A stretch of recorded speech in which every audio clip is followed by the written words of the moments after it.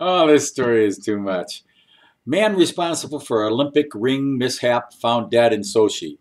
Okay, that's what the Daily Currant reports. Now, before I explain who the Daily Currant is, it reads off The man responsible for operating the Olympic rings during last night's Winter Olympic ceremonies in Russia was found dead today. Goes on to explain that the body of Boris Avdonov was found in his hotel with multiple stab wounds. And then it goes on to say his, although his body was badly man, uh, mangled and his wounds were consistent with a struggle, so far officials say they didn't suspect foul play. Now, as soon as I got to that, I thought, wait a minute, wait a minute. Something's wrong here.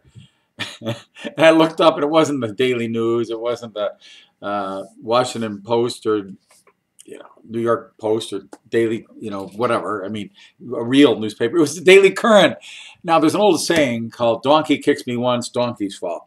Donkey kicks me twice, my fault." Well, I got snookered on the marijuana story in uh, Colorado, where the Daily Currant was saying all these people died the first day pot was legalized, and like an idiot, I went over there and started reporting that it was true. So I'm letting the world know right now. The Daily Currant is a parody site, and it's not true at all that the guy who couldn't make the fifth ring of the Olympics at Sochi um, light up is dead. I mean, he's not dead. I, I mean, I don't think there's anybody who exists by that name, uh, T. Boris Avenovov or whatever.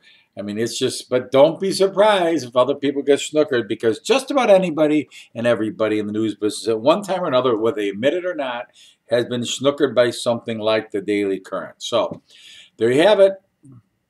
Not true the Olympics will go on, and uh, that's all I have to say.